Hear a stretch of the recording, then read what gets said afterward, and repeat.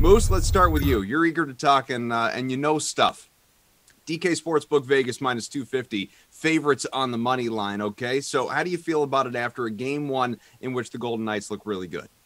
Yeah, I mean, I, think Montreal played them pretty close, if we're being honest. Like, I think that the game was closer than the score kind of indicated. It was one of those situations, but I'm, I'm not quite ready here to just jump on the Montreal side. I mean, uh, the line is certainly big enough if you want to do that. Now, the nice thing is, this line has gotten so big that you can take Montreal here, and I would do that, but I would go to the puck line. I would take them plus 1.5 in this game, minus 127. Carey Price has a very good road record uh, in these playoffs. He's five and two. Uh, I, I, think that, like I said, I think that score was a little bit. Is, just not, not quite indicative of how the game necessarily went. I think Montreal had their chances early. They just didn't, just didn't capitalize. I'm expecting a close game too. I'm not confident enough to say Montreal necessarily pulls it out. If I'm going to pick Montreal for a win, it'll probably be in Montreal. I do like the Canadiens puck line though at plus 1.5.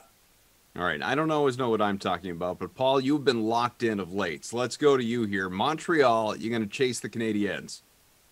No way. I think the sand is about ready to pour out of Montreal's hourglass in this surprising postseason run. Consider that Petry's out with a broken finger. Shea Weber is playing with a hand injury that removes their top veteran defenseman as threats to impact this game. Tatar and Evans may be ready to return. That's a lot of ifs, guys. And uh, let's face it, the top line for Vegas didn't show up in that first game, and they still won by a, a pretty comfortable margin. I think that's going to change tonight.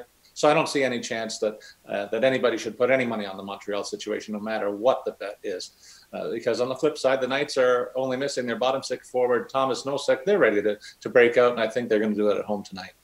AJ, you don't like a Habs bounce back? I don't, and I, I like it even less than I like agreeing with Paul here. So you know, th- this one pains me here, but yeah, I'm not chasing the value on the Habs here. They're just too outmatched throughout the lineup. As Paul mentioned, you know, Petry, Evans are, are both technically game time decisions tonight, but I, am not expecting we'll really see either in, in action. Uh, and and I also don't like getting just even money on on the puck line here to give up a goal and a half. Like that's just not enough value for for the risk.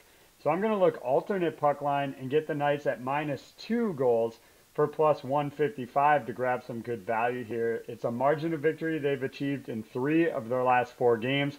I expect that trend to continue. And if you want to take on that little bit more risk to avoid the potential push, as you guys know I love to do, you can go minus two and a half for plus 195 as well here.